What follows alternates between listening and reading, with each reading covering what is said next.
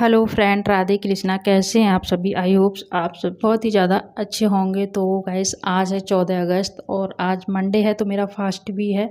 तो मेरे सुबह के ना काम हो गए हैं, झाड़ू पोछा और नहाना धोना, बस अभी मैं पूजा कर रही हूँ और उसके बाद फिर देखते हैं क्या करना है।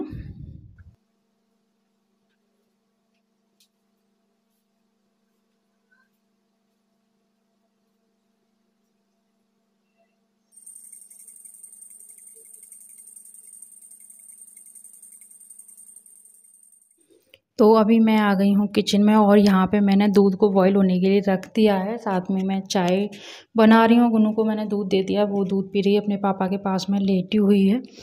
तो बस चाय पी के फिर फटाफट से गुनू को रेडी करा के और स्कूल छोड़ के आना है। और खाने में तो आज मुझे कुछ नहीं बनाना है क्योंकि मेरा फास्ट है। तो हस्बैंड बोले थे कि जो तुम अपने लिए बनाओ, वही मेरे लिए बना देना। अलग से कुछ मत बनाना।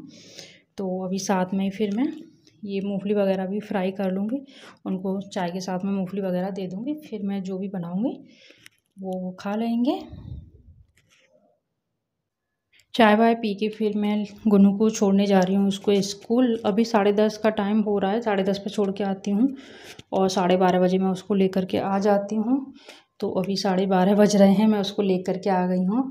अभी में मैंने कोई वीडियो रिकॉर्ड नहीं किया था मैं गुन्नू को लेने गई थी ना, उससे पहले ही मैं केले और दही ले आई थी और फिर रास्ते में से ही गुन्नू का स्कूल पड़ता है तो गुन्नू को ले आई थी और घर आके कपड़े चेंज किए, फिर मैं लग गई किचन में। तो यहाँ पे मैंने कुकर में आलू बॉयल होने के लिए रख दिए हैं और कढ़ाई में मैं बना रही हूँ गुनगुन के लिए सैरलेक्स।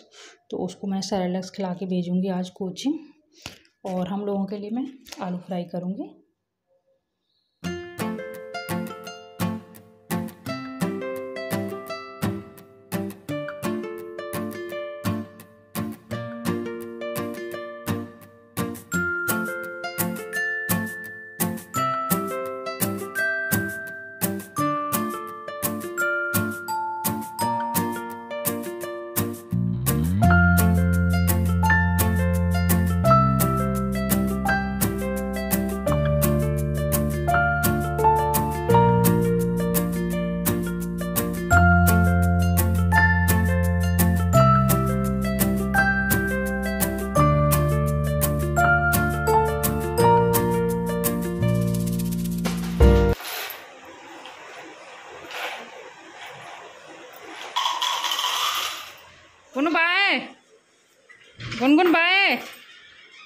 सुन रही। गुनू।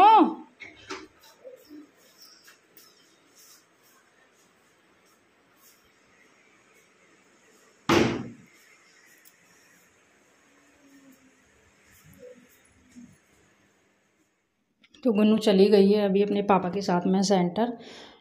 और मैं करूँगी घर का सारा काम, पूरा घर ऐसे ही फैला हुआ है। उसने आती ही मतलब सुबह समेटा था पूरा और स्कूल से आती, पूरा फैला दिया है।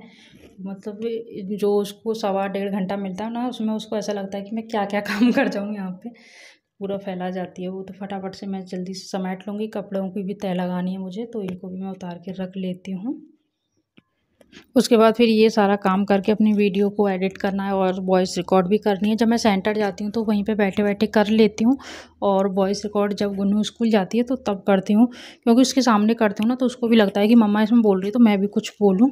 तो वो भी पता नहीं क्या क्या बोलती रहती है। तो बहुत शोर मचाती है वीडियो में। तो मेरा सारा काम हो गया है।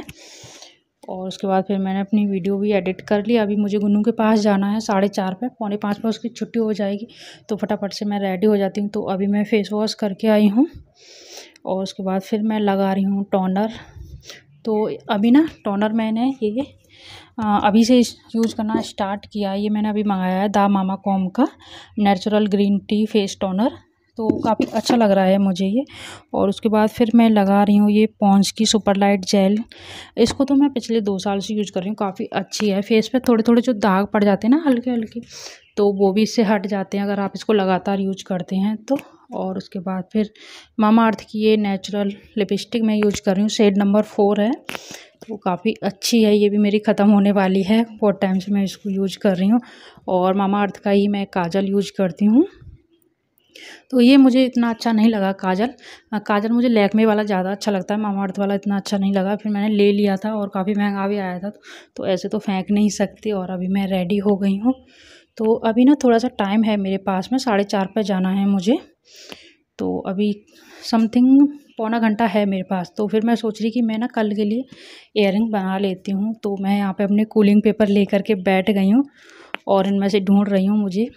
ग्रीन, वाइट और ऑरेंज कूलिंग पेपर मिल जाए तो।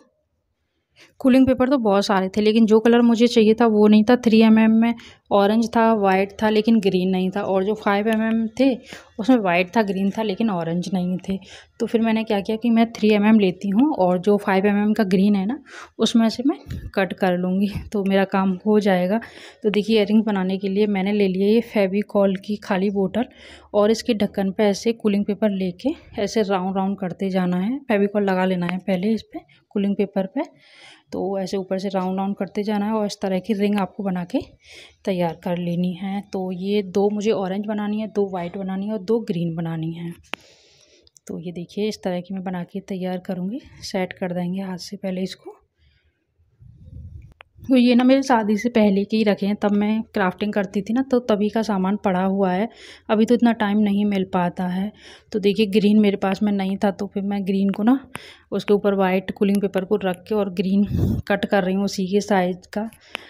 तो दुकान पे मिला नहीं था, मैंने दुकान पे भी पूछा था, लेकिन यहाँ पे ना सामान उतना मिलता नहीं है तो ये मैंने शेयरिंग बना के तैयार कर लिया और मुझे देनी है इनको स्क्वायर शेप तो जैसे कि आप वीडियो में देख रहे हैं, इस तरह से मैं दे दूँगी और ऊपर से फिर मैं इसके ऊपर फेविकॉल लगा दूँगी ताकि ये जो सेफ़ है वो ऐसी ही रहे और इनको सूखने के लिए रख दूँगी। जल्दी से फिर मैंने ना इनको फेविकॉल लगा के धूप में सुखा लिया था ताकि मैं इनको गुन्नू के आने से पहले बना के रख जाऊँ। और देखिए वाइट वाली को इस तरह से कट करना और इसमें एक ग्रीन डालनी है और एक ऑरेंज डालनी है और फेविकॉल की हेल्प से इसको ऐसे जॉइंट को फिर से लगा देना है। तो ये थोड़ा टाइम लेता है, ऐसे पकड़ के रखना पड़ता है, नहीं तो ये ऐसे खुल जाता है। तो बाकी इयर बनाने में कोई टाइम नहीं लगा, बस मुझे इसी को जॉइंट करने में टाइम लगा था। और अभी मैंने ये इयर बना के तैयार कर लिए हैं। सॉरी कड़ियों को जोड़ के तैयार कर लिया और बस इसमें मैं ये इयर की क्या बोलते हैं यार कड़ी बोलते हैं, क्या बोलते हैं, मुझे नहीं पता रिंग तो ये मैं डाल दूँगी। ये भी मेरे पास में रखी थी। ये ना ये गोल्डन में थी। अगर ये वाइट में होती तो और ज़्यादा अच्छा लगता। तो फिर मैं सोचा यार, जो है उसी से बना लेते हैं, क्योंकि यहाँ पे मिलता ही नहीं है सामान। मैंने काफ़ी ट्राई किया, लेकिन यहाँ पे मुझे मिला ही नहीं। और मथुरा जब मैं गई थी ना तो भूल गई थी। ये छोटे छोटे सामान मैं भूल जाती हूँ, वहाँ से लेना। सोचा तो था, लेके जाऊँगी। और ये मेरे सुंदर से इयर बन के तैयार हैं कल के लिए। तो बस अभी टाइम भी हो गया तो फटाफट से मैं निकल लेती हूँ गुनून के पास। पौने पाँच पर उसकी छुट्टी हो जाएगी। अभी साढ़े चार से ऊपर का टाइम हो गया है। जल्दी जल्दी जाती हूँ।